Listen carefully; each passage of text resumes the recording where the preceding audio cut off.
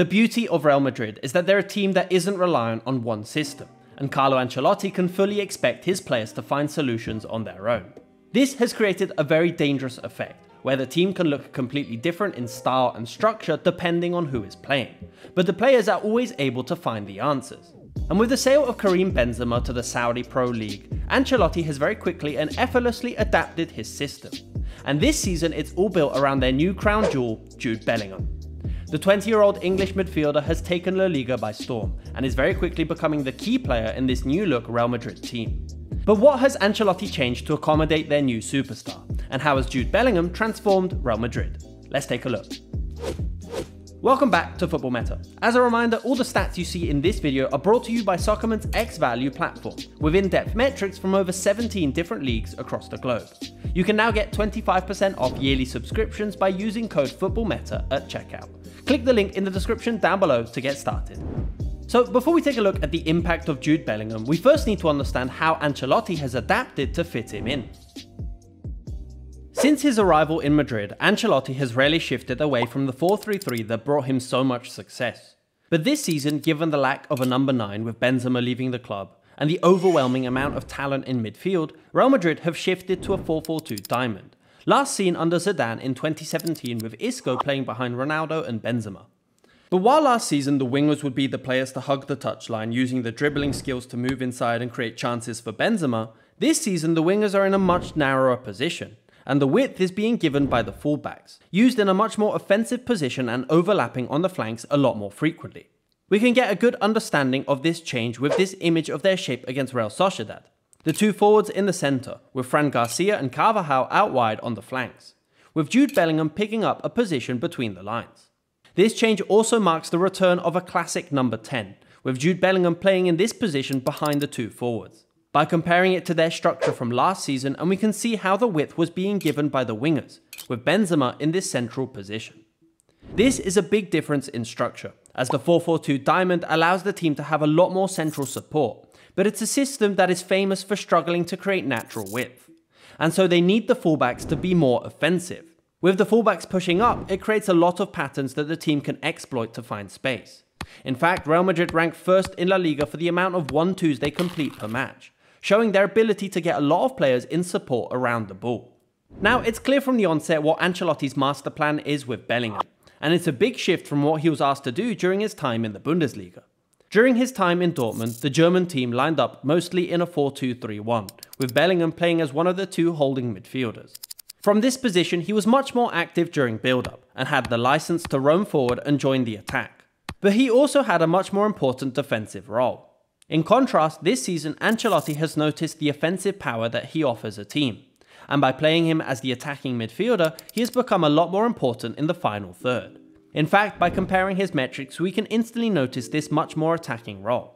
His heat map is more offensive, he's averaging a much higher XG per match, but we also notice his reduced progression responsibility, with a lower expected threat for both passes and dribbles, highlighting how he is now the player receiving progressive passes and not initiating them.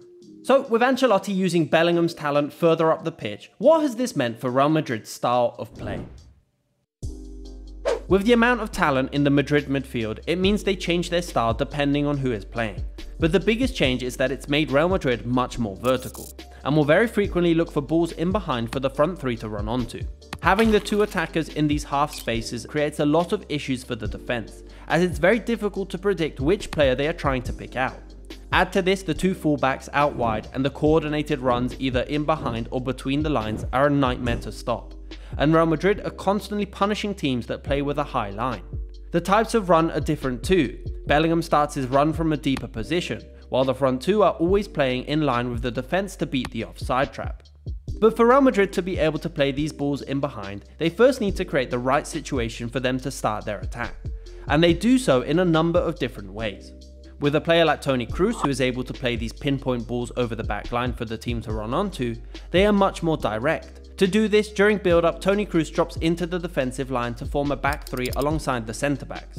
From this position, if he's pressed, then Bellingham can come short as support to pick up the ball, with Valverde coordinating his movement and moving up between the lines.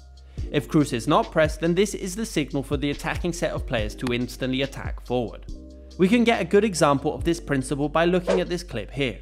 As Real Madrid start their attack, rather than moving between the lines, Kroos drops deep in a position where he can receive the ball with little pressure, also allowing the striker to drop deep and create an imbalance in the defensive line. The signal for Real Madrid is extremely clear, and as soon as Kroos receives the ball in a playable position, the whole front line instantly attacks in behind. From this position, it's incredibly difficult to predict where the ball is going to go, as Kroos's passing range means they can go out wide, down the centre, or even switch play into the opposite fullback. On the other hand, in their matches with Luka Modric and Camavinga, Real are a much more possession-based team. In fact, when Luka Modric is playing, they've averaged 71% possession, while with Toni Kroos, it's around 55%. They also have a shorter long pass share of 7.1% compared to 11.3 with Toni Kroos. Rather than playing direct balls in behind, the more offensive attitude of Modric means they have two players between the lines, and are much more reliant on central progression into Bellingham and Modric, who can then feed the forwards with through balls, or complete late runs into the box to finish off the attacking move. And this is why it feels like this role was specifically crafted for Jude Bellingham. Whether Real Madrid want to play balls in behind or if they want to progress through the lines, Jude Bellingham can do both of these things extremely effectively. And his positioning is very unpredictable and can very easily find space in these extremely congested areas outside the box.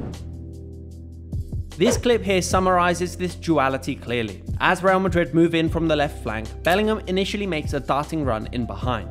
However, Rodrygo isn't able to pick him out and so they circulate possession. Just 10 seconds later, and from the exact same scenario, he decides to drop deep and support the player between the lines, before looking for a quick 1-2 with his teammate. The fact that Bellingham can act as both a striker and an attacking midfielder means he's the perfect player for this Real Madrid team. And no matter who he's playing with, he's the player that can bring it all together and link the different elements in the team. The Real Madrid rebuild looks to be complete, and phasing out the world-class midfield of Casemiro, Kroos and Modric is proving to be less problematic than what was initially thought. But now let me know what you think of this new look Real Madrid team, and what do you make of Jude Bellingham? Leave your thoughts in the comments down below.